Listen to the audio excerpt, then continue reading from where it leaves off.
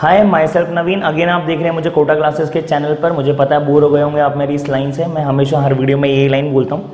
Please comment कीजिए कोई special creative नई लाइन के लिए नीचे, ताकि मैं उसका इस्तेमाल करूँ और आपका नाम भी मैंशन करूँगा कि ये लाइन दी गई है इसके थ्रू इस पर्सन ने हम लोगों को ये सजेस्ट किया, उसका नाम भी मैं मेंशन करूँगा और नेक्स्ट टाइम मैं उसी लाइन का इस्तेमाल करूँगा।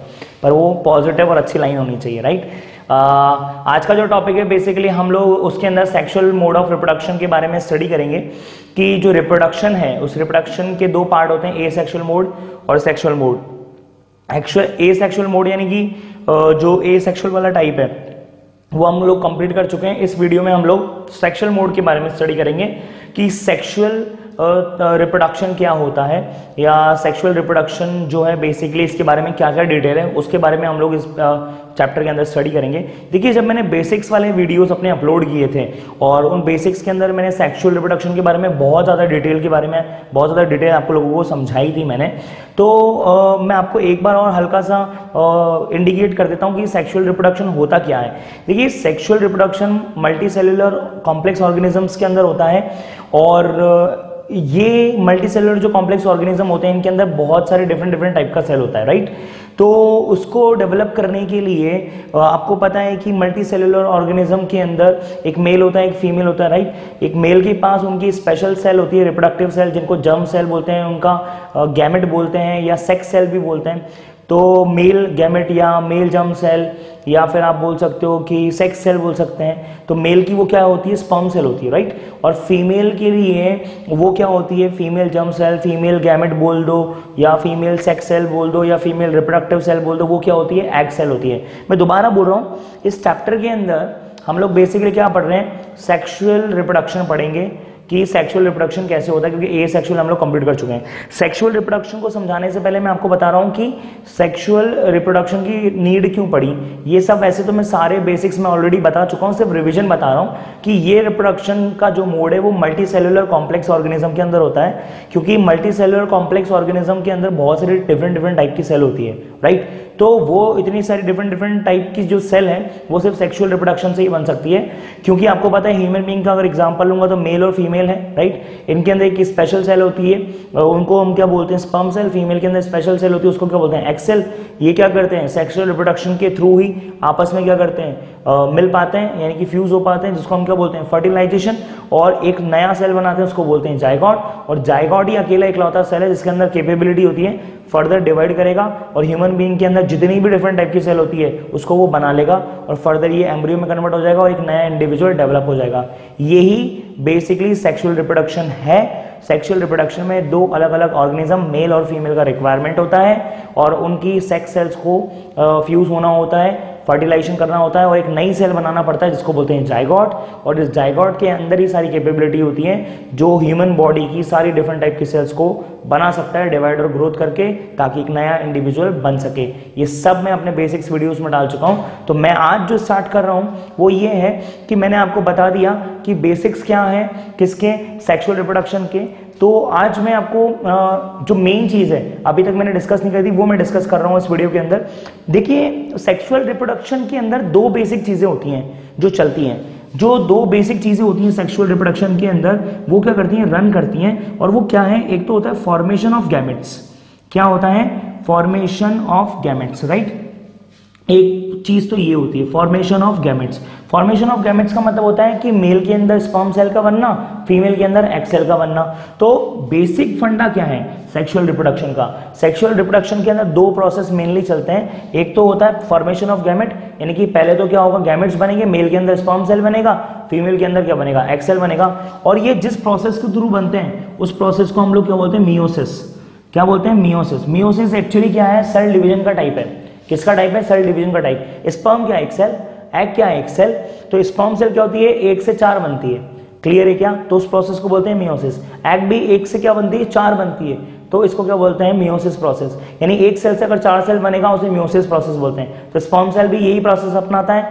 एग सेल भी यही अपनाता है. मैं क्या बता रहा हूँ? सेक्सुअल रिप्रोडक्शन के अंदर दो बेसिक इवेंट होते हैं. दो बेसिक प्रोसेस होते हैं.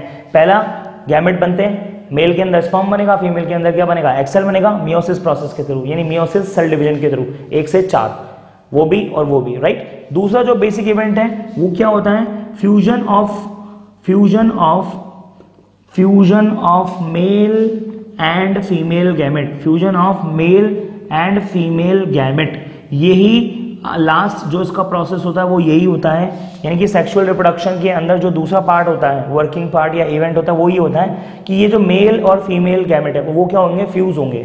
क्या होंगे? फ्यूज होंगे। और इन दोनों के फ्यूजन को हम लोग क्या बोलते हैं? फर्टिलाइजेशन क्या बोलते हैं? फर्टिलाइजेशन फर्टिलाइजेशन राइट इन दोनों के फ्यूजन को हम लोग क्या बोलते हैं? फर्टिलाइजेशन बोलते हैं। तो ये दो बेसिक इवेंट है, आपको ध्यान रखना है सेक्सुअल रिप्रोडक्शन के अंदर। एक तो गैमेट का बनना और दूसरा उनका फ्यूज होना राइट अब आगे जो है वो मैं आपको बता देता हूँ कि आगे मैं क्या बताना चाह रहा हूँ। देखिए, आगे का जो टॉपिक है वो सिर्फ़ इतना सा बता रहा हूँ कि जो फर्टिलाइजेशन प्रोसेस है, ये वाला मेल और फीमेल गैमेट का मिलना फ्यूज होना, उसको बोलते हैं फर्टिलाइजेशन और ये जो फर्टिलाइजेशन प्रोसेस है ना, ये बेटा दो टाइप का होता है। एक होता है इंटरनल फर्टिलाइजेशन एक क्या होता है इंटरनल फर्टिलाइजेशन राइट और एक जो फर्टिलाइजेशन का टाइप होता है, उसको बोलते हैं एक्सटर्नल फर्टिलाइजेशन कौन सा फर्टिलाइजेशन एक्सटर्नल फर्टिलाइजेशन एक्चुअली ये दो टाइप मैंने कैसे डिवाइड किए, मैं बता देता हूँ आपको कैसे डिवाइड किए. ये मेल और फीमेल गैमेट जब फ्यूज होते हैं तो वो जगह कौन सी है? वो डिपेंड करती है, वो जगह कौन सी है? उस जगह के बेसिस पर वो फर्टिलाइजेशन का नाम रखा जाता है कि फर्टिलाइजेशन इंटरनल कहलाएगा कि एक्सटर्नल फर्टिलाइजेशन कहलाएगा राइट मैं बताता हूँ कैसे. अगर मेल गैमेट और फीमेल गैमेट यानी एक्सेल और स्पॉम सेल अगर दोनों मीट कर रहे हैं फ्यूज हो रहे हैं मतलब उनके बीच में फर्टिलाइजेशन हो रहा है, पर ये फ्यूजन उन दोनों का कहाँ हो रहा है? फीमेल की बॉडी के अंदर। किसके अंदर? फीमेल की बॉडी के अंदर। तो ऐसे फर्टिलाइजेशन को बोलते हैं इंटरनल फर्टिलाइजेशन और अगर मेल गैमेट और फीमेल गैमेट यानी स्पर्म सेल और एक्स सेल क्या होते हैं? अगर मीट कर रहे हैं फ्यूजन कर रहे हैं, यानी फर्टिलाइजेशन कर रहे हैं, पर वो अगर आउटसाइड द फीमेल बॉडी है फीमेल बॉडी के अगर वो बाहर कर रहे हैं राइट तो अगर वो फीमेल बॉडी के बाहर आपस में मिल रहे हैं तो ऐसे फर्टिलाइजेशन को क्या बोलते हैं? एक्सटर्नल फर्टिलाइजेशन क्या बोलते हैं? एक्सटर्नल बहुत सारे लोगों को समझ में नहीं आ रहा होगा कि इसका मतलब क्या होता है। देखिए ह्यूमन बींग्स के अंदर अगर मैं बात करूँ तो मेल और फीमेल के बीच में जब सेक्सुअल इंटरकोर्स होता है तो मेल से मेल के रिप्रोडक्टिव ऑर्गन के थ्रू यानी पेनिस के थ्रू स्पर्म सेल जो होती है, वो फीमेल के अंदर चली जाती है राइट फीमेल के वजाइनल ट्रैक से होती हुई, वो फीमेल के अंदर चली जाती है और वहाँ पर जाकर के वो स्पर्म सेल फीमेल की एक्सेल से क्या करता है? फ्यूज करता है, यानी कि मिलता है। फेलोपियन ट्यूब के अंदर। वो आगे मैं डिस्कस करूँगा फेलोपियन ट्यूब क्या होता है। वहाँ जाकर के वो क्या करता है मीट करता है, मिलता है। यानी कि जो मीटिंग हो रही है, वो फीमेल बॉडी के अंदर हो रही है। तो ह्यूमन बींग्स के अंदर जो फर्टिलाइजेशन हो रहा है, वो कौन सा वाला हो रहा है? इंटरनल फर्टिलाइजेशन राइट जबकि मैं आपको फिशेस के अंदर अगर मैं बात करूँ तो फिशेस के अंदर क्या होता है? एक्सटर्नल फर्टिलाइजेशन होता है।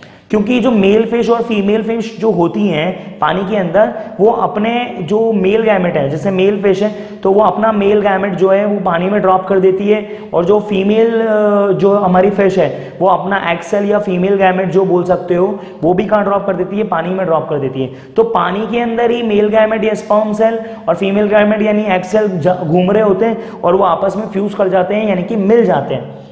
यानी कि फर्टिलाइजेशन उनका हो जाता है। तो ये फीमेल की बॉडी के बाहर हो रहा है। फीमेल की फ़िश के अंदर नहीं हो रहा। फीमेल फ़िश के कहा हो रहा है? बाहर बाहर हो रहा है। फीमेल फ़िश के अंदर नहीं फीमेल फ़िश के बाहर हो रहा है। बाहर हो रहा है। बाहर कहाँ हो रहा है? पानी में हो रहा है। तो ये फर्टिलाइजेशन क्या कहलाएगा? एक्सटर्नल फर्टिलाइजेशन आई होप आपको एग्ज़ाम्पल के थ्रू समझ में आया होगा।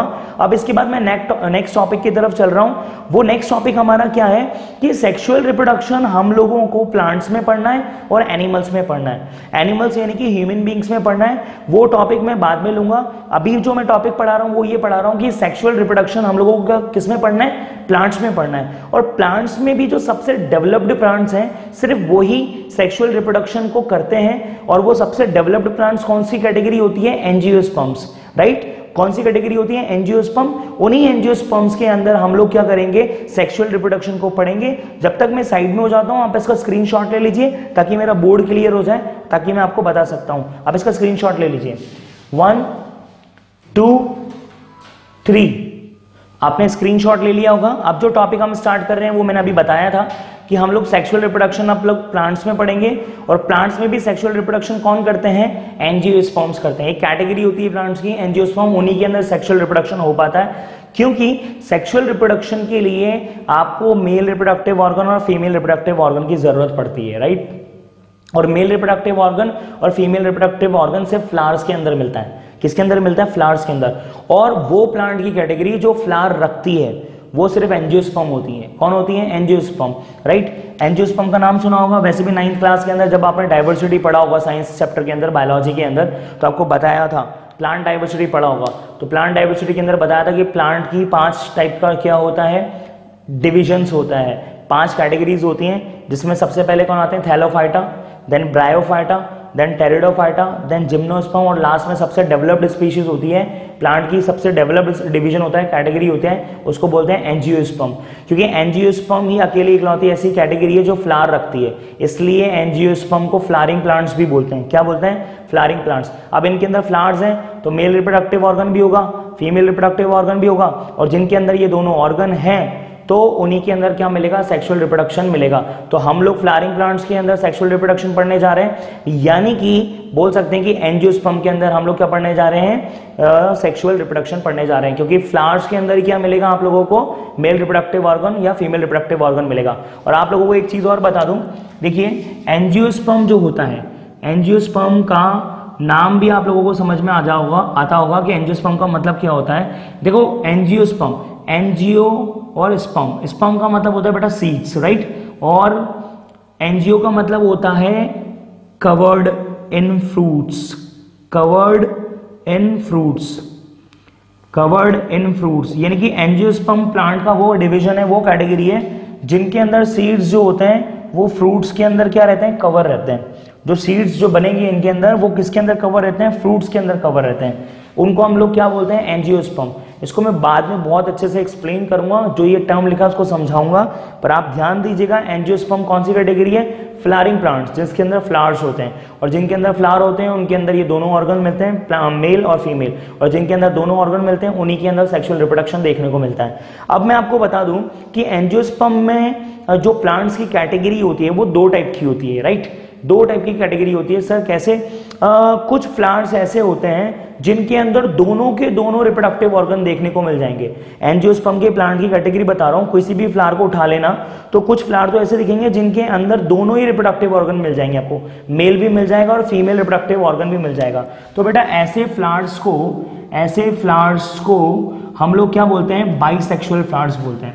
क्या बोलते हैं? बाई सेक्सुअल बोलते हैं। मैं दोबारा बोल रहा हूँ, एंजियोस्पर्म के जो प्लांट्स होते हैं, उनका कोई प्लांट उठाना, उसका कोई फ्लावर उठाना तो वो फ्लावर दो टाइप के होते हैं। एक फ्लावर ऐसा होता है जिसके अंदर दोनों आपको रिप्रोडक्टिव ऑर्गन दिख जाएँगे मेल भी और फीमेल भी।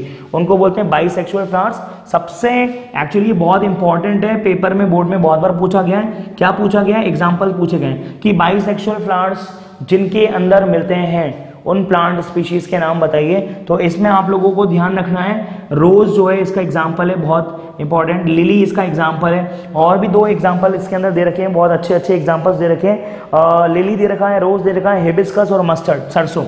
एक दे रखा है हेबिस्कस हेबिस्कस और एक दे रखा है इसका एग्ज़ाम्पल मस्टर्ड मस्टर्ड मतलब सरसों राइट तो ये चार एग्ज़ाम्पल में से आपको दो तो एटलीस्ट लर्न ही कर लीजिएगा। रोज और लिली रोज और लिली ये दो दो फूल हैं और इनको ध्यान रख लीजिएगा। Rose and lily hibiscus learn करना है तो लर्न कर लीजिए। सरसों आपको ध्यान रह जाएगा मस्टर्ड ये जो प्लांट की स्पीशीज है, इनके जो फ्लावर्स होते हैं, वो बाईसेक्सुअल होते हैं। इनके अंदर दोनों रिप्रोडक्टिव ऑर्गन मिलते हैं। और कुछ फ्लावर्स ऐसे होते हैं, जिनके अंदर एक ही रिप्रोडक्टिव ऑर्गन मिलेगा। या तो मेल मिलेगा, या फीमेल मान लीजिए ये फ्लावर है, इसके अंदर रिप्रोडक्टिव ऑर्गन देखा तो एक ही मिलेगा। या तो वो मेल होगा या फिर वो क्या होगा? फीमेल दोनों में से एक हो सकता है राइट तो ऐसे फ्लावर्स को हम लोग बोलते हैं यूनिसेक्सुअल फ्लावर्स ऐसे फ्लावर्स को हम लोग क्या बोलते हैं? यूनिसेक्सुअल फ्लावर्स बोल सकते हैं. क्लियर है क्या? और यूनिसेक्सुअल फ्लावर्स के आपको क्या ध्यान रखने हैं? एग्ज़ाम्पल ध्यान रखने हैं. बहुत ज़्यादा इंपॉर्टेंट है क्योंकि एग्ज़ाम्पल पूछा जाता है. इसके अंदर दो एग्ज़ाम्पल है, दोनों ही फल हैं.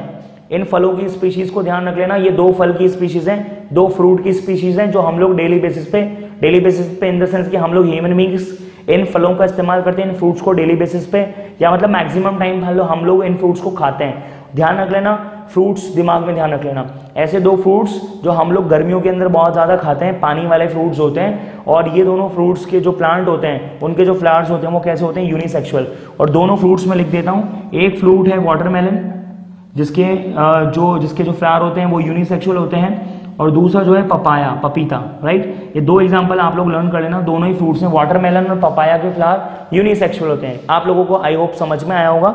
अब मैं आपको नेक्स्ट टॉपिक की तरफ़ लेकर के चल रहा हूँ। नेक्स्ट टॉपिक हमारा क्या है? बेसिकली हम लोगों को अब फ्लावर की डिटेल पढ़नी है। किसकी डिटेल पढ़नी है? फ्लावर की। तो मैं फ्लावर के बारे में आपको डिटेल बता देता हूँ, क्योंकि देखो फ्लावर नहीं पढ़ेंगे। तो रिप्रोडक्टिव ऑर्गन तक नहीं पहुँचेंगे। रिप्रोडक्टिव ऑर्गन तक नहीं पहुँचेंगे तो उनके गैमेट तक नहीं पहुँचेंगे। उनके गैमेट तक नहीं पहुँचेंगे तो उनके बीच में फर्टिलाइजेशन नहीं होगा। फर्टिलाइजेशन नहीं होगा तो जायगॉट नहीं बनेगा। जायगॉट नहीं बनेगा तो हम लोग सेक्सुअल रिप्रोडक्शन कैसे पढ़ेंगे? तो सेक्सुअल रिप्रोडक्शन पढ़ने के लिए हम लोगों को सबसे पहले फ्लावर पढ़ना पड़ेगा। तो मैं फ्लावर का डिटेल आपको बता देता हूँ। देखिए फ्लावर क्या होता है? फ्लावर बेसिकली चार बेसिक पार्ट से मिलकर के बना फ्लावर बेसिकली कितने पार्ट से मिलकर के बना है चार बेसिक पार्ट से मिलकर के बना है सबसे पहला पार्ट जो होता है, वो होता है सेपल्स राइट दूसरा जो सब इंपॉर्टेंट पार्ट होता है, वो होता है पेटल्स क्लियर है क्या? और एक और सबसे इंपॉर्टेंट पार्ट होता है, वो होता है स्टेमन क्लियर और अगला जो सबसे इंपॉर्टेंट पार्ट होता है, उसको बोलते हैं कार्पल क्या बोलते हैं? कार्पल या फिर उसका दूसरा नाम है पिस्टिल दूसरा उसका नाम क्या है? पिस्टिल मैं दोबारा बोल देता हूँ। फ्लावर बेसिकली चार चीज़ों से मिलकर के बना है। एक होते हैं सैपल्स एक होते हैं पैटल्स एक होते हैं स्टैमन्स एक होते हैं हमारे स्टैमन या एक होते हैं हमारे कार्पल और कार्पल का ही नाम क्या दे रखा है? हम लोगों ने पिस्टल दे रखा है राइट अब हम लोगों को इनके बारे में डिटेल देखनी है।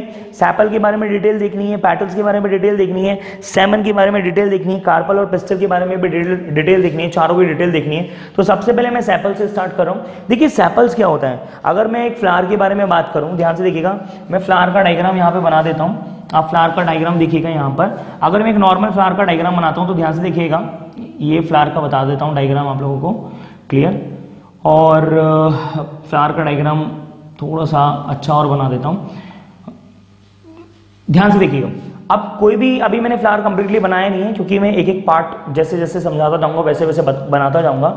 अभी आप लोगों को शायद ये समझ में नहीं आ रहा होगा, पर अभी थोड़ी देर में आपको समझ में आने लगेगा। देखिए फ्लावर के चार पार्ट होते हैं, मैंने नाम बता दिए। सबसे पहला पार्ट है सेपल्स देखिए, कोई भी शुरुआत में अगर आपने फूल देखा होगा, आप गुलाब के फूल को याद कर लीजिए। जब गुलाब का फूल छोटा होता है, छोटा इन द सेंस कली होता है बर्ड होती है बर्ड शुरुआत का टाइम याद रखिए, शुरुआत का टाइम याद रखिए कि जब अगर आपने कभी गुलाब का फूल देखा होगा तो खुला हुआ गुलाब का फूल नहीं बोल रहा हूँ। आप खुला हुआ देखेंगे, तभी भी मैं सैपल समझा दूँगा, पर सबसे ज़्यादा अच्छे तरीके से समझ में आएगा, जब गुलाब का फूल कली होता है। क्या होता है? कली होता है, छोटी सी नन्नी सी कली होती है, एक डंडी होती है स्टिक रहती है, और उस स्टिक के अंदर बीच में क्या होता है? पूरा का पूरा आपका बर्ड रहता है। यानी कि आपकी जो गुलाब की पत्तियाँ होती है, वो ऐसे सिकड़ी हुई रहती हैं और उसके चारों तरफ़ से हरी हरी पत्तियाँ रहती हैं, जो उस फ्लावर को, उस कली को क्या करके रखी हुई होती है कवर करके रखी हुई होती हैं। लाइक दिस अगर आप ये डायग्राम समझ पाए तो। इस डायग्राम को मिटा देता हूँ, वो वाला डायग्राम बना देता हूँ, ताकि आप लोगों को समझ में आ जाए।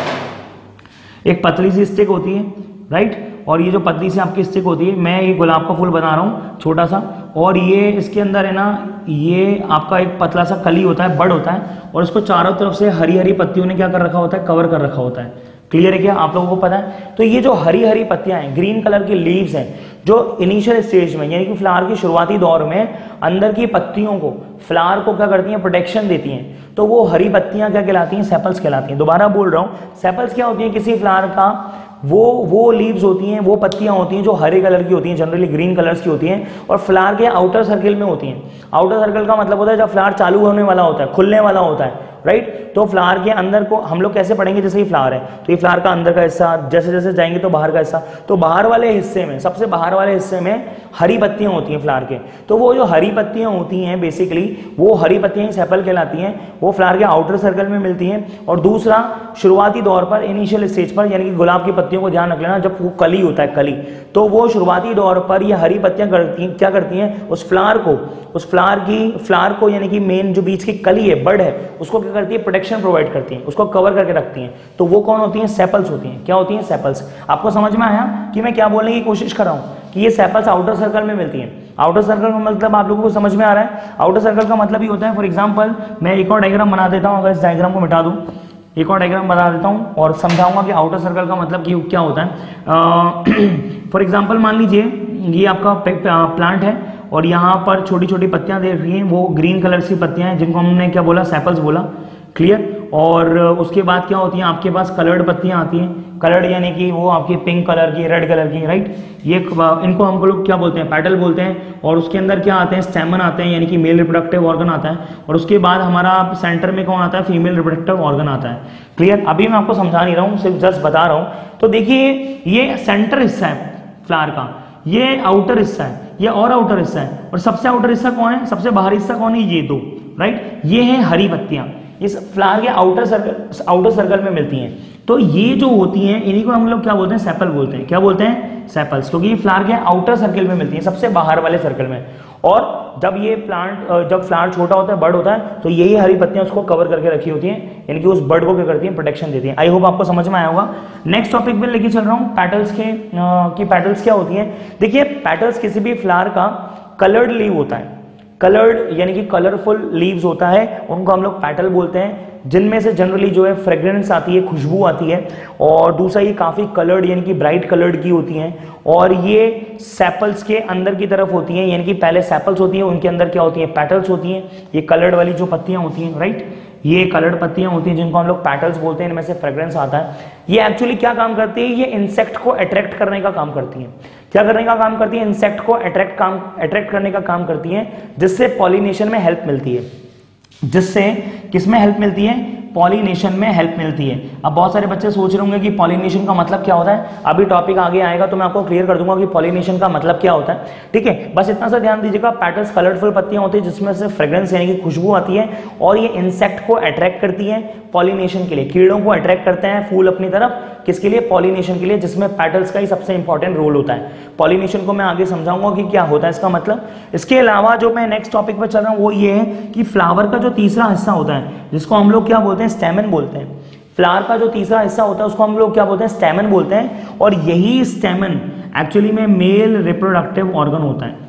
यही स्टेमन क्या होता है? एक्चुअली में मेल रिप्रोडक्टिव ऑर्गन होता है। और ये मेल रिप्रोडक्टिव ऑर्गन फ्लावर के आ, पहले सबसे पहले सैपल मिलता है फिर पैटल मिलता है फिर पैटल के बाद मेल रिप्रोडक्टिव ऑर्गन ही मिलता है फ्लावर के अंदर और ये बहुत सारी संख्या में मिलता है। अंदर इसके बहुत सारे नंबर ऑफ़ स्टैमेंस होते हैं, बहुत सारी संख्या में ये मिलता है। यानी कि नंबर ऑफ़ स्टैमेंस मिलते हैं फ्लावर के अंदर, बहुत सारे मिलते हैं राइट अभी जो ये फ्लावर मैंने बनाया है, वो एक बाईसेक्सुअल फ्लावर का डायग्राम है।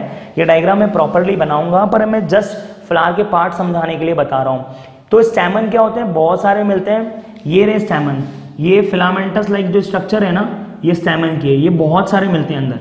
अभी मैं आप लोगों को समझा दूँ कि ये जो फ्लावर की जो स्ट्रक्चर में बना रहा हूँ, इसके अंदर ये वाला जो हिस्से बना रहा हूँ, ये मेल रिप्रोडक्टिव ऑर्गन है, जिसको हम लोगों ने क्या बोला? स्टैमन बोला। अब स्टैमन के अंदर मैं थोड़ा सा डिटेल आपको साथ शेयर करूँगा। स्टैमन जो होता है बेटा बेसिकली जो होता है यहाँ पे मैं बना देता हूँ। स्टैमन जो होता है बेसिकली वो दो टाइप दो पार्ट से मिलकर के बना होता है। एक तो होता है एंथर क्लियर एक होता है उसका फिलामेंट क्लियर मैं क्या बात कर रहा हूँ? मैं ये बात कर रहा हूँ कि जो मेल रिप्रोडक्टिव ऑर्गन है स्टेमन है, वो दो पार्ट से मिलकर के बना होता है। एक होता है एंथर एक होता है फिलामेंट राइट अब मैं पहले फिलामेंट बता देता हूँ क्या होता है। देखिए, ये जो स्टिक लाइक स्ट्रक्चर दिख रही है आपको ये जो डंडी सी, ये स्टिक लाइक स्ट्रक्चर दिख रही है, लंबी सी, इसको हम लोग क्या बोलते हैं? फिलामेंट बोलते हैं। क्या बोलते हैं? फिलामेंट बोलते हैं। और ये जो बॉल लाइक स्ट्रक्चर दिख रही है ना आपको बॉल लाइक स्ट्रक्चर जो आपको दिख रही है, इस बॉल लाइक स्ट्रक्चर को हम लोग क्या बोलते हैं? एंथर बोलते हैं। बेसिकली ये जो फिलामेंट होता है ना ये फिलामेंट क्या होता है? सपोर्ट देता है। किसको देता है? एंथर को सपोर्ट देता है। किसको सपोर्ट देता है? एंथर को। तो ये फिलामेंटस यानी कि स्टिक लाइक जो स्ट्रक्चर होती है, उसको तो बोलते हैं फिलामेंट और उसके ऊपर एक बॉल लाइक स्ट्रक्चर होती है, उसको बोलते हैं एंथर और वो एंथर को क्या देता है? ये फिलामेंट सपोर्ट देता है। अब एंथर के बारे में डिस्कस करूँगा कि एंथर क्या होता है। बेसिकली ये जो एंथर होता है एंथर के अंदर बैग लाइक स्ट्रक्चर होती है।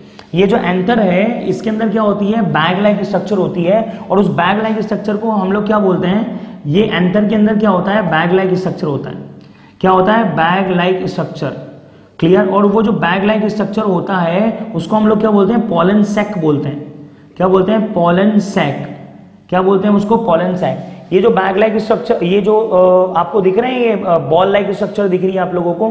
ये जो बॉल लाइक स्ट्रक्चर है, इस बॉल लाइक स्ट्रक्चर को हम लोग क्या बोलते हैं बॉल लाइक स्ट्रक्चर के अंदर बैग लाइक स्ट्रक्चर होती है। ये जो बॉल वाली सोलन टिप है सोलन मतलब सूजी हुई या फूली हुई जो ये टिप है, ये फिलामेंट का जो टिप है ना, ये फिलामेंट का जो टिप है टिप मतलब एंडिंग पॉइंट ये सूजा हुआ रहता है, फूला हुआ रहता है। यानी कि बॉल जैसा रहता है। इसके अंदर बैग लाइक स्टोरेज होता है। या ये इसके अंदर बैग लाइक स्ट्रक्चर होती है, यानी स्टोरेज होता है इसके अंदर स्टोरेज तो वो बैग लाइक स्ट्रक्चर थैले लाइक स्ट्रक्चर जो स्टोरेज होती है, उसको हम बोलते हैं पॉलन सैक क्या बोलते हैं? पॉलन सैक राइट इस पॉलन सैक के अंदर कुछ पार्टिकल्स होते हैं।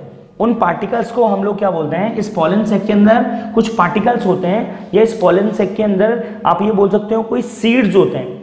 पॉलन के अंदर पार्टिकल होते हैं, या सीड्स होते हैं, उन सीड्स को हम लोग क्या बोलते हैं? पॉलन ग्रेन्स बोलते हैं। क्या बोलते हैं? पॉलन ग्रेन्स बहुत इंपॉर्टेंट है जो भी मैं अभी आपके साथ डिस्कस कर रहा हूँ।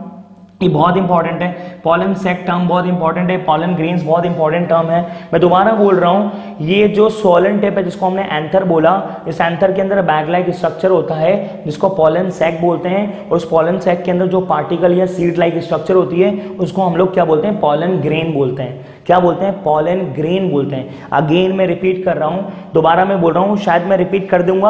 आ, मैं स्क्रीन अब मैं साइड हट जाता हूँ। आप स्क्रीन ले लीजिए क्योंकि बोर्ड काफ़ी भर चुका है। मैं दोबारा से इसको रिपीट कर देता हूँ। आप इसका स्क्रीन ले लीजिए।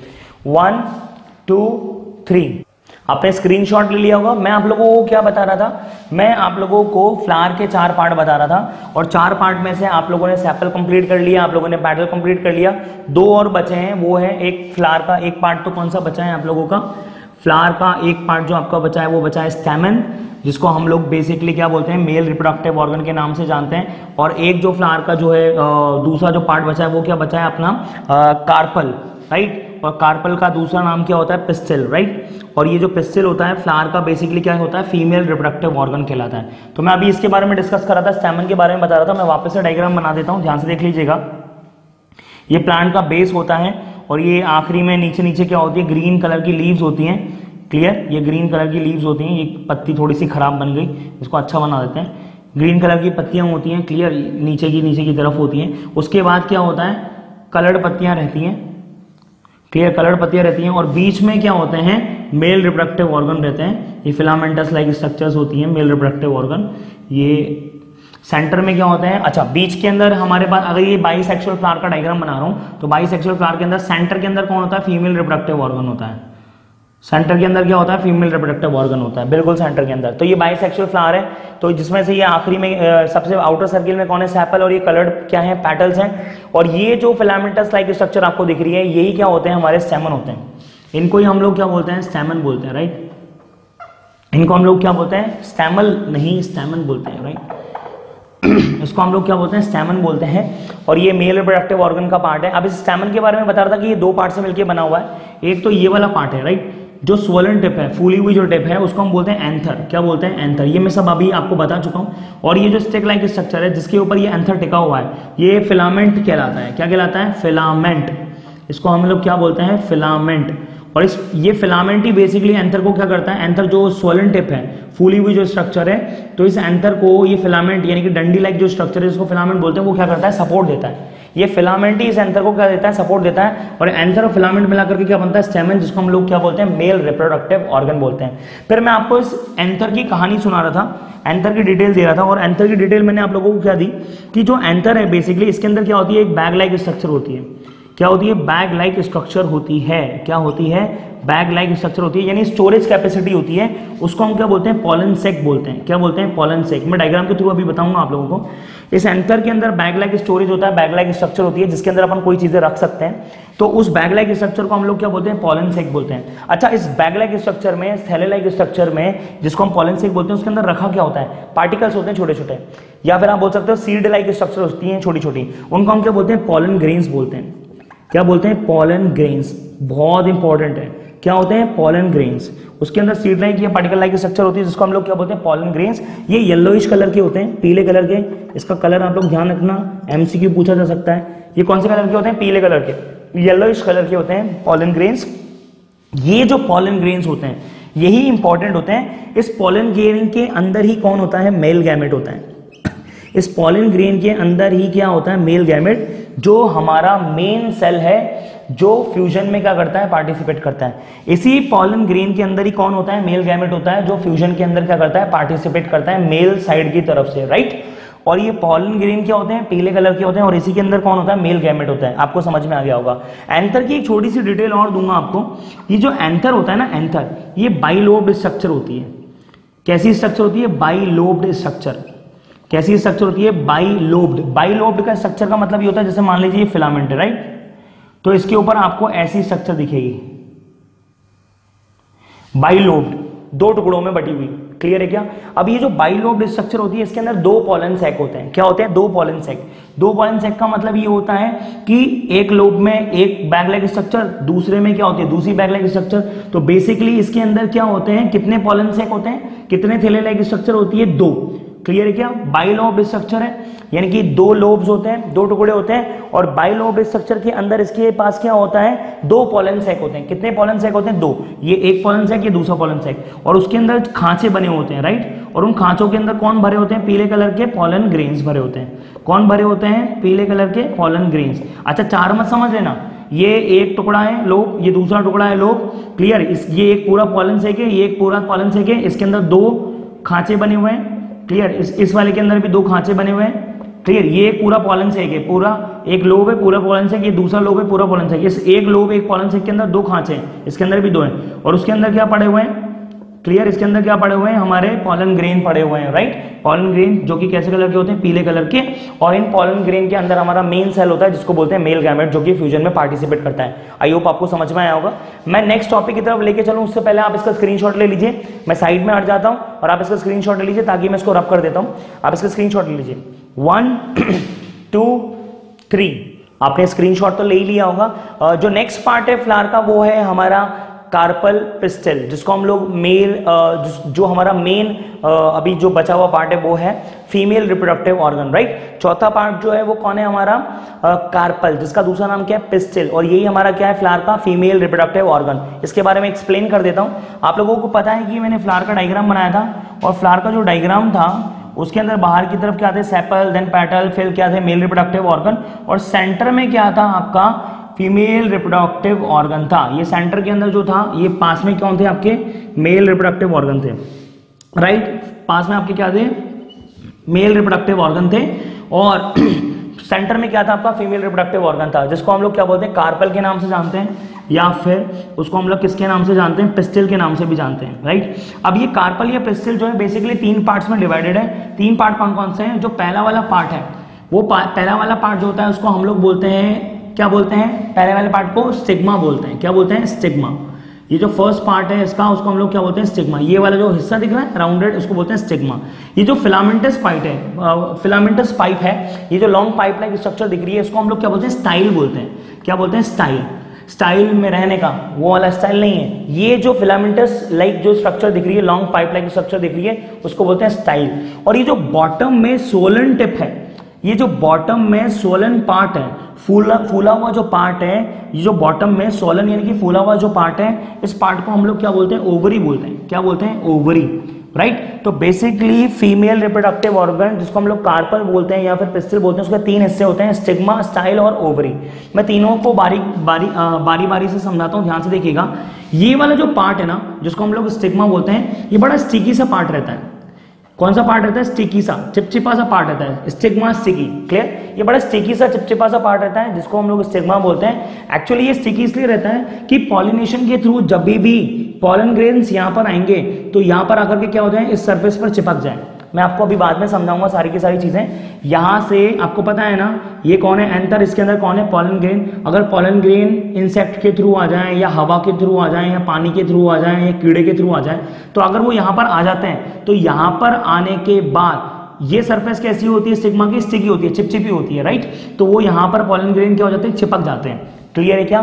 तो वो चिपक जाते हैं और वो यहीं पर ठहर जाते हैं। अगर कोई कीड़ा आएगा तो कीड़े के पाँव में अगर मान लो पॉलन ग्रेन है तो वो जब कीड़ा यहाँ पर बैठेगा तो कीड़ा आया जबकि पत्तियों की वजह से आया है यहाँ पर पेटल्स की वजह से तो कीड़ा यहाँ पर बैठेगा तो उसकी कीड़े से पॉलन ग्रेन निकल के इस स्टिग्मा वाली सर्फेस पर क्या हो जाएँगे? स्टिक हो जाएँगे, चिपक जाएँगे।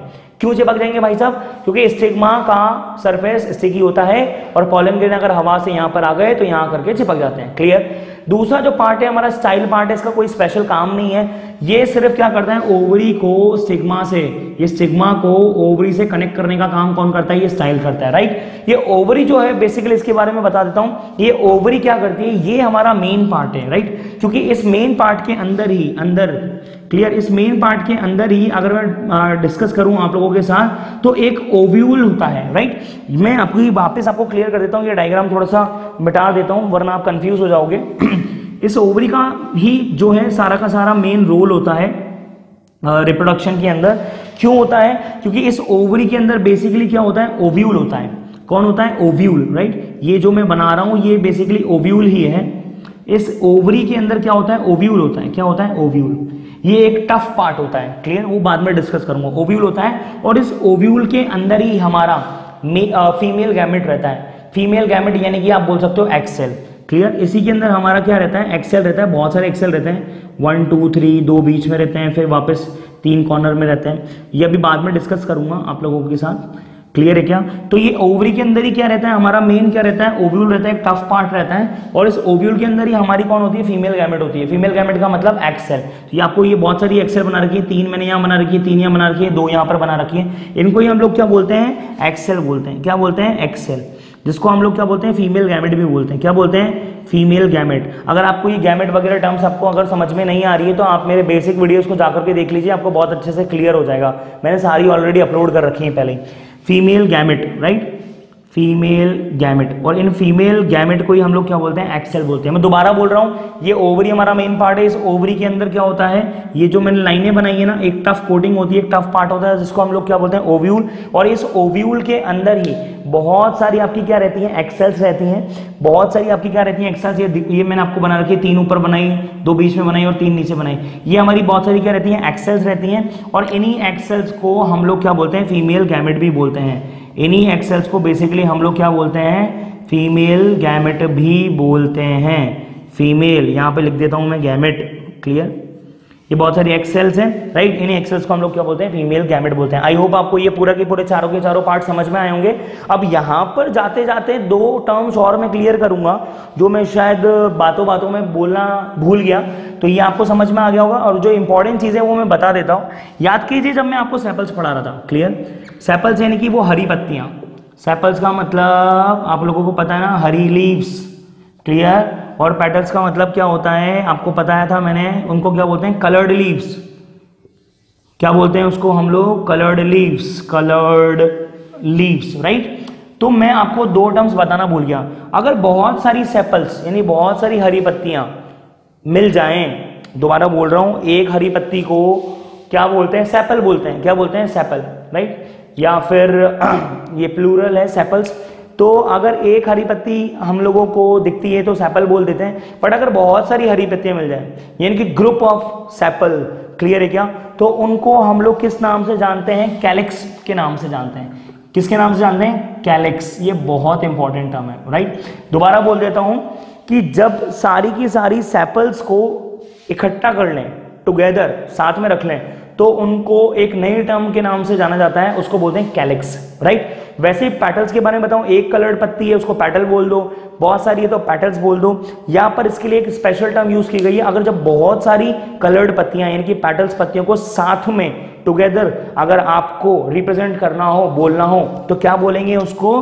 पैटल को सारी इकट्ठी पैटल को अगर साथ में आपको एक टर्म देना हो तो क्या बोलेंगे उसको? इसका फ़ेमस नाम है, उसका फ़ेमस नाम है कोरोला क्या बोलेंगे? कोरोला क्या बोलेंगे? कोरोला दोबारा मैं बोल देता हूँ कि बहुत सारी पैटर्न्स जब टुगेदर यानी साथ में आ जाएँ, एक साथ आ जाएँ तो एक साथ जब वो आती हैं तो उनको एक नाम से पुकारा जाता है या एक नाम से ये फ़ेमस है या एक नाम से जाना जाता है, उस नाम को क्या बोलते हैं? कोरोला क्या बोलते हैं? कोरोला जब बहुत सारी सेपल्स आ जाए तो उनको कैलिक्स बोलते हैं, जब बहुत सारे पेटल्स आ जाए तो उनको क्या बोलते हैं? कोरोला ये कोरोला नाम रखना, याद रखना बहुत बहुत ईजी है। आप लोगों को पता है टोयोटा एक कंपनी है ऑटोमोबाइल्स यानी कि कारें बनाती है तो उसकी एक गाड़ी आती है Corolla Altis right Corolla Altis जो कि बहुत प्रीमियम और अच्छी गाड़ी होती है तो कोरोला वहाँ से आप नाम ध्यान से याद कर सकते हैं कि ग्रुप ऑफ़ पैडल्स जब बहुत सारे पैडल्स हो, इनका इकट्ठा हम क्या बोलते हैं कोरोला और कोरोला एल्टिस एक गाड़ी है टोयोटा की क्लियर है क्या? तो आई होप आपको समझ में आया होगा, मैं साइड में हो जाता हूँ, आप इसका स्क्रीनशॉट ले लीजिए, फिर हम इस कारवा को थोड़ा सा आगे बढ़ाएँगे, आप इसका स्क्रीनशॉट ले लीजिए। वन टू थ्री आपने स्क्रीनशॉट तो ले ही लिया होगा। नेक्स्ट टॉपिक जो है, जैसे आप लोगों ने चारों पार्ट प्रॉपर तरीके से जैसे आप लोगों ने समझ लिए। तो चारों पार्ट समझने के बाद नेक्स्ट टॉपिक जो है, वो पॉलिनेशन है। पॉलिनेशन के बारे में मैं आपको डिटेल बता देता हूँ।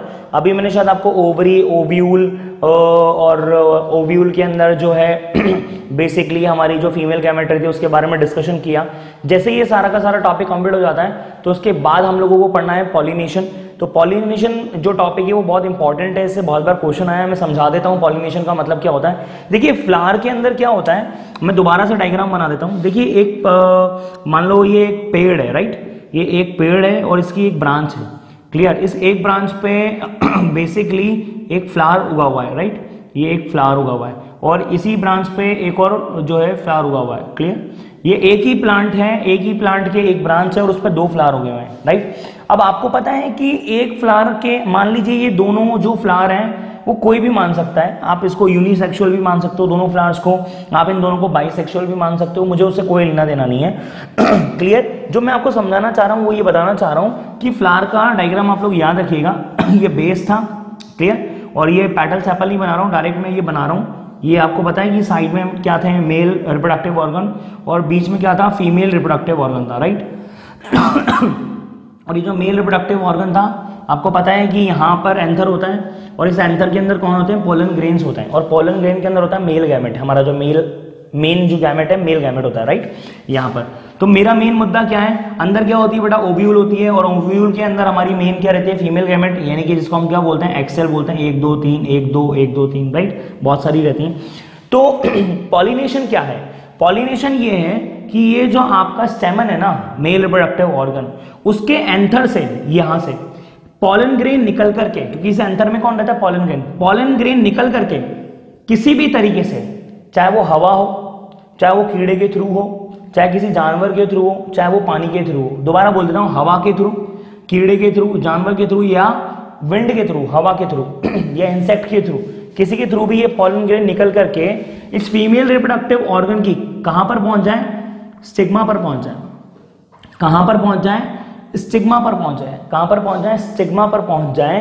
तो उस प्रोसेस को हम लोग क्या बोलते हैं? पॉलिनेशन बोलते हैं। क्या बोलते हैं? पॉलिनेशन राइट अब क्या हो सकता है? ये प्लांट है, इस पर दो प्लांट लग रहे हैं। हो सकता है कि वो जो हमारा जो पॉलन ग्रेन है एंथर से निकल करके एंथर से निकल के कहाँ आ रहा है? फीमेल रिप्रोडक्टिव ऑर्गन के स्टिग्मा तक आ रहा है। तो इस प्रोसेस को तो हम लोगों ने क्या बोल दिया? पॉलिनेशन बोल दिया। क्या बोल दिया? पॉलिनेशन अब ये हो किसकी वजह से रहा है? या तो हवा की वजह से, या फिर इंसेक्ट की वजह से, या फिर आपके पानी की वजह से, या फिर किसी जानवर की वजह से। इनके किसी भी वजह से यहाँ पर आ गया। अगर वो आ जाता है तो उस प्रोसेस को बोलते हैं पॉलिनेशन ये इंपॉर्टेंट नहीं है। एक्चुअली इंपॉर्टेंट तो है टाइप्स ऑफ़ पॉलिनेशन क्या इंपॉर्टेंट है? Types of pollination types of pollination ये बहुत इंपॉर्टेंट है. एक्चुअली पॉलिनेशन जो है वो दो टाइप का होता है. बहुत ज़्यादा इंपॉर्टेंट है. इससे बहुत बार क्वेश्चन आया है बोर्ड्स के अंदर कि पॉलिनेशन जो है बेसिकली कितने टाइप्स का होता है? दो टाइप्स का पॉलिनेशन होता है. और ये जो पॉलिनेशन है, वो दो टाइप्स का कौन कौन होता है? एक जो टाइप दे रखा है, वो दे रखा है सेल्फ पॉलिनेशन राइट और दूसरा जो टाइप दे रखा है इसका, वो दे रखा है क्रॉस पॉलिनेशन ये दोनों बहुत इंपॉर्टेंट नाम है। एक है सेल्फ पॉलिनेशन और दूसरा कौन सा है? क्रॉस पॉलिनेशन इसका मीनिंग मैं आपको समझाऊँगा। बहुत सारे बच्चों को कंफ्यूजन रहता है, क्योंकि एनसीईआरटी के अंदर भी जो इसकी डेफिनेशन लिखी हुई है, वो भी प्रॉपर नहीं है। इससे प्रॉपर क्लियर हो नहीं पा रहा है। तो मैं आपको बताऊँगा कि सेल्फ पॉलिनेशन और क्रॉस पॉलिनेशन में फ़र्क क्या होता है। ध्यान से देखिएगा। मान लीजिए ये एक पेड़ है, ये एक पेड़ की ब्रांच है राइट और उस ब्रांच पे दो फूल है क्लियर अगर मान लीजिए कि इसी ये बाइसेक्सुअल फ्लावर है फॉर एग्ज़ाम्पल कौन सा फ्लावर है? बाइसेक्सुअल फ्लावर है। तो इसी फ्लावर का पॉलन ग्रेन निकल करके, इसी फ्लावर का पॉलन ग्रेन निकल करके, कहाँ से निकलेगा? इसके मेल रिप्रोडक्टिव ऑर्गन से निकलेगा। और इसी फ्लावर के स्टिग्मा पर आ जाए। इसी फ्लावर का जो फीमेल रिप्रोडक्टिव ऑर्गन है, उसी की कहाँ जाए? स्टिग्मा पर आ जाए। दोबारा से समझा रहा हूँ मैं क्या बोल रहा हूँ? ये एक प्लांट है, ये उसकी ब्रांच है, उस पर दो फ्लावर है फॉर एग्ज़ाम्पल तो पहला वाला फ्लावर को मैं क्या बोल रहा हूँ कि मान लीजिए ये बाइसेक्सुअल फ्लावर है। तो ये बाइसेक्सुअल है तो इसके अंदर मेल रिप्रोडक्टिव ऑर्गन भी होगा और फीमेल भी होगा। तो इसके मेल रिप्रोडक्टिव ऑर्गन से कौन निकल गया? पॉलन ग्रे निकल गया। और इसी फ्लावर के फीमेल रिप्रोडक्टिव ऑर्गन की कहा आ गया? स्टिग्मा पर आ गया। राइट या तो ये बोल सकते हैं, या फिर इस फ्लावर के अच्छा ये भी बाइसेक्सुअल मान लो या यूनिसेक्सुअल मान लो, जैसा आपको लगता है वैसा मान लो। तो दूसरा क्या बोल रहा हूँ? मान लीजिए इस फ्लावर के मेल रिप्रोडक्टिव ऑर्गन से पॉलन ग्रेन निकल करके इसी प्लांट के दूसरे फ्लावर पर, दूसरे, इसी प्लांट के दूसरे फ्लावर पर, जिसके पास क्या है? फीमेल रिप्रोडक्टिव ऑर्गन है, उसकी स्टिग्मा पर जाकर के पॉलन ग्रेन क्या हो जाए? चिपक जाए। तो ऐसे पॉलिनेशन को बोलते हैं सेल्फ पॉलिनेशन बहुतों को समझ में नहीं आया होगा, मैं दोबारा से रिपीट कर रहा हूँ, ध्यान से देखिएगा। ये एक ही प्लांट है, एक प्लांट की एक ब्रांच है, उस पर दो फ्लावर लगे हुए हैं। कितने फ्लावर लगे हुए हैं? दो फ्लावर अगर इसी फ्लावर का पॉलन ग्रेन निकल करके इसी फ्लावर पर आ जाए मतलब इसी फ्लावर का पॉलन ग्रेन निकल करके इसी फ्लावर पर आ जाए, या फिर इस फ्लावर का पॉलन ग्रेन निकल करके दूसरे फ्लावर पर चला जाए, पर वो दूसरा फ्लावर भी इसी प्लांट का होना चाहिए। दोबारा बोल रहा हूँ, इस फ्लावर का पॉलन ग्रेन निकल करके इसी फ्लावर पर आ जाए, या फिर इस फ्लावर का पॉलन ग्रेन निकल करके पड़ोस वाले फ्लावर पर आ जाए। क्लियर पर वो पड़ोस वाला फ्लावर भी इसी प्लांट का होना चाहिए। तो ऐसे पॉलिनेशन को बोलते हैं सेल्फ पॉलिनेशन यानी कि एक ही प्लांट होना चाहिए। तो अगर एक ही फूल का निकल के एक में चला जाए, या एक फूल का निकल के दूसरे फूल में चला जाए, पर वो दूसरा फूल इसी प्लांट का होना चाहिए तो ऐसे पॉलिनेशन को क्या बोलते हैं? सेल्फ पॉलिनेशन अच्छा क्या निकल के कहाँ चला जाए? इसी फ्लावर के मेल रिप्रोडक्टिव ऑर्गन से पॉलन ग्रेन निकल करके इसी फ्लावर के फीमेल रिप्रोडक्टिव ऑर्गन के, फीमेल रिप्रोडक्टिव ऑर्गन की स्टिग्मा पर चला जाए। इसी फ्लावर का pollen grain male reproductive organ से निकल करके इसी फ्लावर के फीमेल रिप्रोडक्टिव ऑर्गन की स्टिग्मा पर चला जाए। या इस फ्लावर का मेल रिप्रोडक्टिव ऑर्गन से पॉलन ग्रेन निकल करके इसी प्लांट के दूसरे फ्लावर के फीमेल रिप्रोडक्टिव ऑर्गन के स्टिग्मा पर चला जाए तो दोनों केसेस क्या कहलाते हैं? सेल्फ पॉलिनेशन कहलाते हैं। एक बार और बता रहा हूँ, जानबूझ करके ध्यान से सुनिएगा। एक ही फ्लावर का पॉलन ग्रेन निकल करके वहीं चला जाए, या फिर एक ही फ्लावर का पॉलन ग्रेन निकल के दूसरे फ्लावर के पास चला जाए। पर दूसरा फ्लावर भी क्या होना चाहिए? इसी प्लांट का होना चाहिए। ऐसे पॉलिनेशन को क्या बोलते हैं? सेल्फ पॉलिनेशन और जो दूसरा पॉलिनेशन होता है, वो होता है क्रॉस पॉलिनेशन इसके बारे में मैं बता देता हूँ। देखिए, ये आपका एक प्लांट है। मैं यहाँ पे दूसरा प्लांट भी बना देता हूँ। और ये इसकी ब्रांच बना दी और यहाँ पर मैंने क्या बना दिया? एक फूल बना दिया। क्लियर ये फूल बना दिया। डायग्राम थोड़ा सा गंदा सा बन गया। मैं डायग्राम को मिटा देता हूँ। नया डायग्राम बना देता हूँ। ये मान लीजिए एक प्लांट है आपका। क्लियर ये इसकी ब्रांच है। यहाँ पर मैं एक फूल बना देता हूँ। ये एक फूल बना दिया। अब मान लीजिए, एक प्लांट के एक फ्लावर से पोलन ग्रेन निकल करके दूसरे प्लांट के फ्लावर के पास चले जाएँ। इसको बोलते हैं हम लोग क्रॉस पोलिनेशन क्या बोलते हैं? क्रॉस पोलिनेशन इस केस में क्या हुआ? प्लांट ही बदल गया। इस केस में क्या हुआ? प्लांट ही बदल गया। इस केस में क्या हुआ? प्लांट ही बदल गया। ऐसे पोलिनेशन को क्या बोलते हैं? क्रॉस पोलिनेशन यानी एक प्लांट के एक फ्लावर से निकल के दूसरे प्लांट के दूसरे फ्लावर तक अगर पॉलन चला जाता है तो उसको बोलते हैं क्रॉस पॉलिनेशन अर्थात जाता कहाँ से कहाँ है? इस फ्लावर के एंथर से निकलेगा पॉलन और दूसरे फ्लावर के सिग्मा पर पहुँच जाएगा। फीमेल रिप्रोडक्टिव ऑर्गन के सिग्मा तक पहुँच जाएगा। प्लांट ही चेंज हो गए। एक प्लांट के फ्लावर से दूसरे प्लांट के फ्लावर तक। तो उसको हम क्या बोलते हैं? क्रॉस पोलिनेशन बोलते हैं। क्या बोलते हैं? क्रॉस पोलिनेशन आई होप आपको ये समझ में आया होगा। मैं साइड में हट जाता हूँ। उसके बाद मैं आपको फर्टिलाइजेशन टॉपिक जो है क्लियर करूँगा। आप इसका स्क्रीनशॉट ले लीजिए। वन टू थ्री आपने स्क्रीनशॉट तो ले ही लिया होगा। जो नेक्स्ट टॉपिक है हमारा, कि जैसे ही आप पॉलिनेशन तो हो गया। यानी कि मेल रिप्रोडक्टिव ऑर्गन से जो है पॉलन ग्रेन जो है ट्रांसफ़र होकर के कहाँ आ गए हैं? फीमेल रिप्रोडक्टिव ऑर्गन की स्टिग्मा पर आ गए तो अब इसके बाद नेक्स्ट प्रोसेस क्या? तो जो नेक्स्ट प्रोसेस है, वो होता है फर्टिलाइजेशन फर्टिलाइजेशन आप लोग अगर मेरे बेसिक टॉपिक्स को देखेंगे वीडियो लेक्चर्स को देखेंगे, अगर देखना चाहते हैं तो लिंक जो है नीचे डिस्क्रिप्शन बॉक्स में दिया हुआ है। वहाँ पर भी क्लिक करके आप लोग देख सकते हैं। जो भी मैंने बेसिक्स आप लोगों को शुरुआत में समझाए थे अपने वीडियो लेक्चर्स के अंदर। मैं बेसिक्स का मतलब क्या है? What is the meaning of fertilisation देखो पॉलिनेशन हो गया।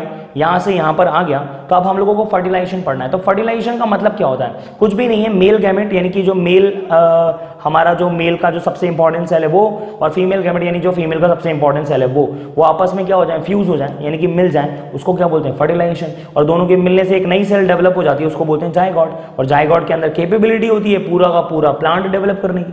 राइट है क्या? तो पूरा का पूरा प्लांट डेवलप करने की क्या होती है? केपेबिलिटीज होती है। या फिर अगर वो जाएगा एनिमल का हो तो पूरा का पूरा जो है एनिमल डेवलप करने की उसके अंदर केपेबिलिटी होती है। दैट इज़ कॉल्ड फर्टिलाइजेशन तो फर्टिलाइजेशन को डिटेल में आगे पढ़ते हैं। मैं आपको डायग्राम बना करके समझा देता हूँ। ध्यान से देखिएगा, आप लोगों को पता है, मैं दोबारा से बता देता हूँ। ये आपका क्या है?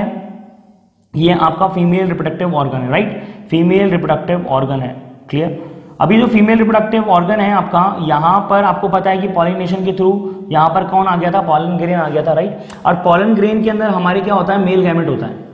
पॉलन ग्रेन के अंदर हमारा क्या होता है? मेल गैमेट होता है। और ये जो पॉलन ग्रेन होता है, ये कौन से कलर का होता है? येलो कलर का होता है। कौन से कलर का होता है? येलो कलर का होता है। अब आपको पता है फर्टिलाइजेशन टॉपिक पढ़े तो फर्टिलाइजेशन में ज़्यादा कुछ खास होता नहीं है। आपको पता है, अंदर क्या रहता है?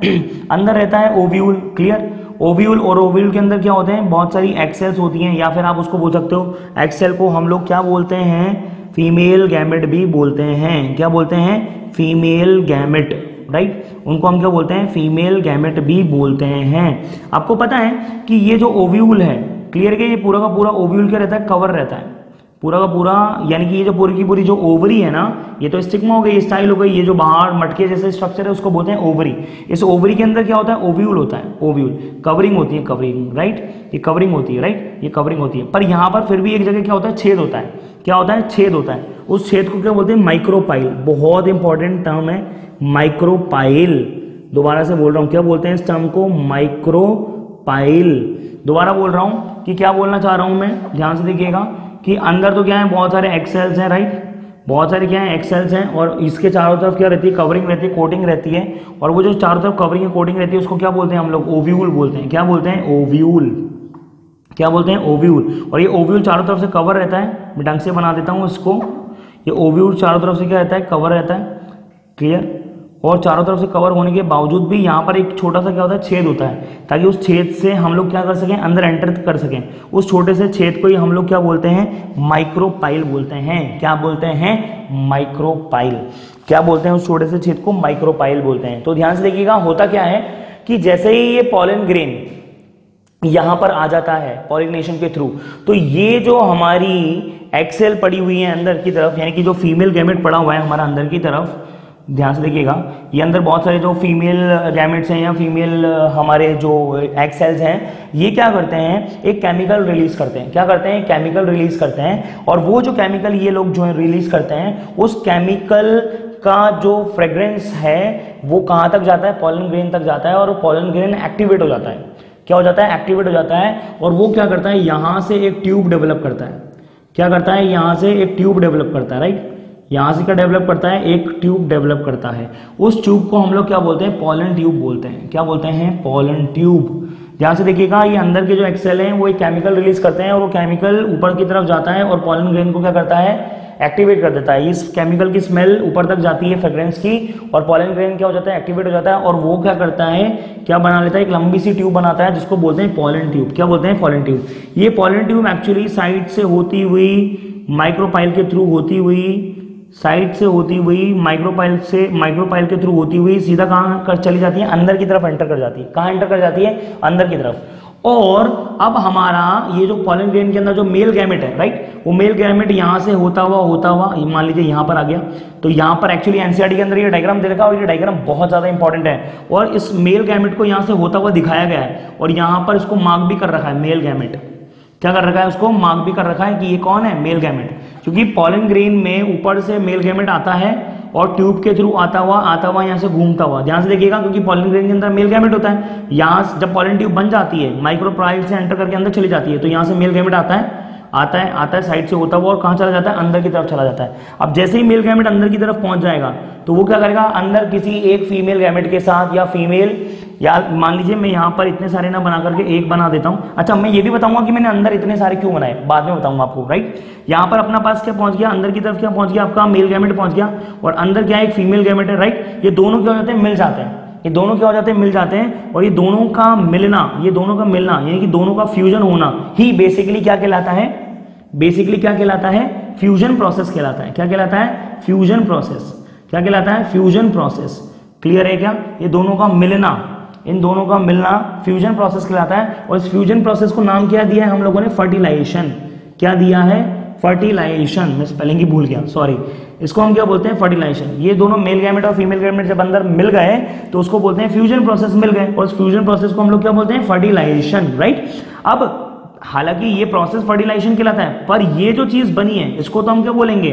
जायगॉट क्या बोलेंगे? जायगॉट ये बोल सकते हैं कि ये जायगॉट फ्यूजन प्रोसेस के थ्रू बनाए और उस फ्यूजन प्रोसेस को क्या बोलते हैं? फर्टिलाइजेशन और इसको हम क्या बोलते हैं? जायगॉट क्या बोलते हैं? जायगॉट अब ये जो जायगॉट है धीरे धीरे क्या होता है? ये जायगॉट की सेल डिवाइड होती है। एक से दो दो से चार चार से आठ आठ से सोलह सोलह से बत्तीस डिवाइड होकर के बड़ी होती जाती है राइट अब ये बड़ी होती जाती है क्योंकि इसके अंदर कैपेबिलिटी होती है, पूरा का पूरा प्लांट बनाने की। तो बेसिकली डिवाइड होकर बड़ा होता जाता है, बड़ा होता जाता है, बड़ा होता जाता है। तो हम कह सकते हैं कि इसके अंदर फ्यूचर प्लांट है, इसके अंदर कौन है? फ्यूचर प्लांट क्लियर है क्या? या फिर हम लोग क्या बोल सकते हैं? इसके अंदर प्लांट एम्ब्रियो है. कौन है?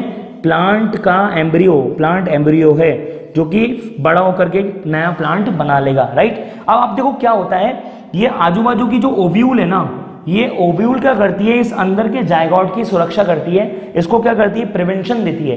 तो आजू बाजू की जो ओव्यूल है ना, वो ओव्यूल क्या हो जाती है? टफ हो जाती है.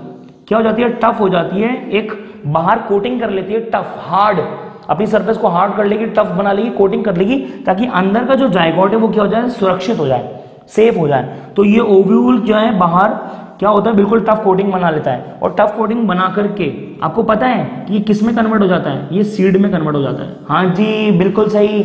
ये सीड में कन्वर्ट हो जाता है। ये ओव्यूल बाहर टफ कोटिंग बना लेता है और वो किसमें कन्वर्ट हो जाता है? सीड में कन्वर्ट हो जाता है। और इस सीड के अंदर ये हमारा कौन है? फ्यूचर प्लांट एम्ब्रियो क्लियर है क्या? और दूसरी बात, सबसे प्यारी बात, अब फाइनली पता है क्या होता है? ये सारा, ये स्टिग्मा ये स्टाइल ये आजू बाजू की पत्तियाँ, पैटल, ये सेपल, ये बेस, ये सब झड़ जाएँगे। सिर्फ़ क्या बचेगा? ये ओवरी बचेगा। मैं यहाँ पर डायग्राम बना देता हूँ। यहाँ पे आपके पास सिर्फ़ क्या बचेगा? ये ओवरी बचेगा।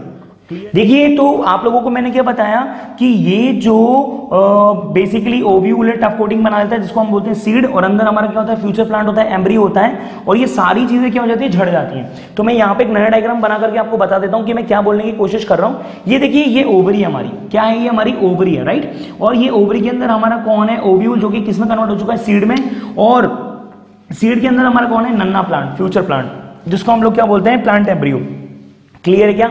और ये सिर्फ़ ओवरी रह गई, क्योंकि इसके ऊपर का सारा स्टिग्मा स्टाइल आजू बाजू के जो है अपनी पैटल सैपल बेस सारे के सारे मेल रिप्रोडक्टिव ऑर्गन ये सब क्या हो जाते हैं? झड़ जाते हैं। क्या हो जाते हैं? झड़ जाते हैं। और ये ओवरी क्या करती है? डेवलप होती है। क्या होती है? डेवलप होती है। ये मेच्योर होती है ग्रोथ करती है और आगे जाकर के जो है इतना डेवलपमेंट लेती है, इतना ग्रोथ करती है, इतना मेच्योर करती है कि यही ओवरी फर्दर जाकर के किसमें कन्वर्ट हो जाती है? फ्रूट में कन्वर्ट हो जाती है। किसमें कन्वर्ट हो जाती है? फ्रूट में। और अंदर तो आपको पता है कि ये कौन है?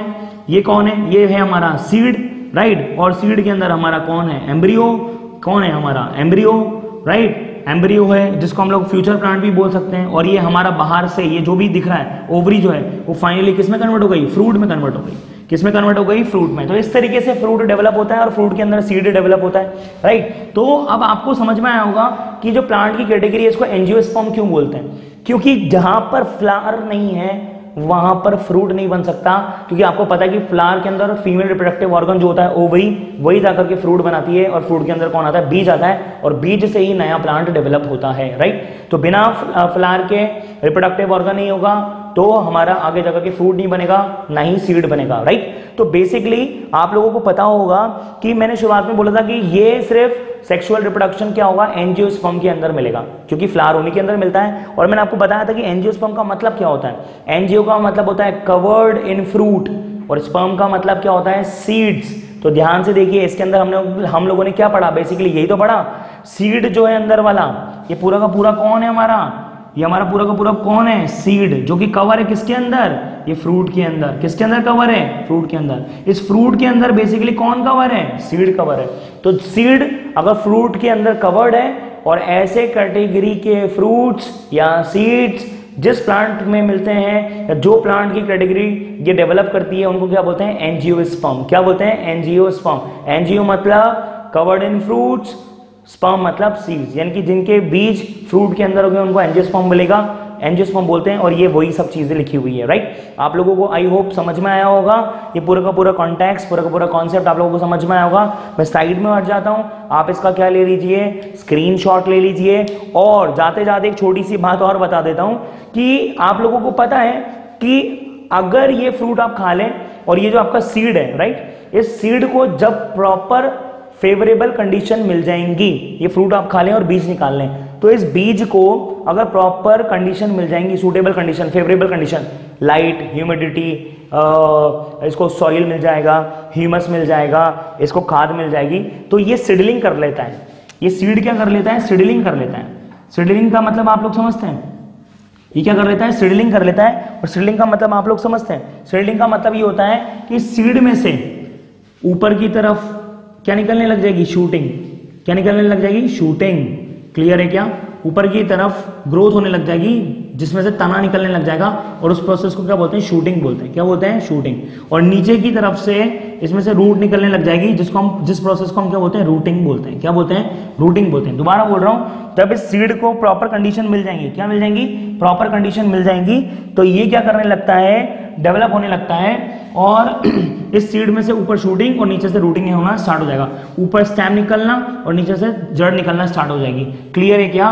तो सीडलिंग के दौरान ये सब होना स्टार्ट हो जाता है। इस प्रोसेस को हम लोग क्या बोलते हैं? जर्मिनेशन क्या बोलते हैं? जर्मिनेशन यानी कि सीड में से रूटिंग और शूटिंग होना, उस प्रोसेस को क्या बोलते हैं? जर्मिनेशन जब इसको फेवरेबल कंडीशन मिल जाती है। क्लियर है क्या? दोबारा मैं बता देता हूँ। अगर आपको वहाँ डायग्राम नज़र नहीं आ रहा हो तो कि ये सीड जो है ना, इस सीड में से तना निकलने लग जाता है, जड़ें निकलने लग जाती है। इस तने को निकलने को क्या बोलते हैं? शूटिंग और रूट को निकलने को बोलते हैं रूटिंग क्लियर है क्या? तो ये प्रोसेस बेसिकली क्या कहलाता है? जर्मिनेशन कहलाता है। क्या कहलाता है? जर्मिनेशन क्या कहलाता है? जर्मिनेशन यानी कि जब सीड को फेवरेबल कंडीशन मिल जाएँगे ह्यूमिडिटी वाटर लाइट ह्यूमस मिट्टी न्यूट्रिएंट तो इसमें से ऊपर की तरफ़ तना, नीचे की तरफ़ जड़ें निकलने लग जाती। है यानी रूटिंग और शूटिंग दोनों स्टार्ट हो जाता है। इस प्रोसेस को बोलते हैं जर्मिनेशन सीड फ़ूड गया जर्मिनेट कर गया राइट और ये रूटिंग होना शूटिंग होना, ये क्या कहलाता है? सिडलिंग क्या कहलाता है? सिडलिंग क्लियर सीडिंग मतलब कंडीशन मिल गई, ऐसा होना स्टार्ट हो गया और इस पूरे प्रोसेस को क्या बोलते हैं? जर्मिनेशन क्या बोलते हैं? जर्मिनेशन सीडलिंग और जर्मिनेशन में फ़र्क कितना सा है? भैया सीड में चीज़ें हैं कंडीशन मिल गई, चालू हो गया। इसको सीडलिंग बोल देंगे। और जब ये पूरी की तरह से रूटिंग और शूटिंग होने लग गई डेवलप होने लग गया तो उसको हम लोग क्या बोल देंगे? जर्मिनेशन बोल देंगे कि जर्मिनेट हो गया फ़ूड गया, फट गया राइट आई होप आपको ये समझ में आ गया होगा। आप इसका स्क्रीनशॉट ले लीजिए। And thank you so much please इस वीडियो को कमेंट इसमें कीजिए। अगर आपको कोई दिक्कत आती है तो हम लोग उस पर वीडियो बनाएँगे और आप कमेंट कोई अच्छा कमेंट भी कर सकते हैं। अगर आपको सच में हेल्प मिल रही है, आपको टॉपिक क्लियर हो रहा है, समझ में आ रहा है, उससे हमारा उत्साह बढ़ता है। लाइक कीजिए मोटिवेट होते हैं हम लोग एनर्जी मिलती है और ज़रूर शेयर कीजिए ताकि लोगों की मदद मिल सके। Thank you so much Vande Mataram. आप इसका स्क्रीनशॉट ले लीजिए। One two three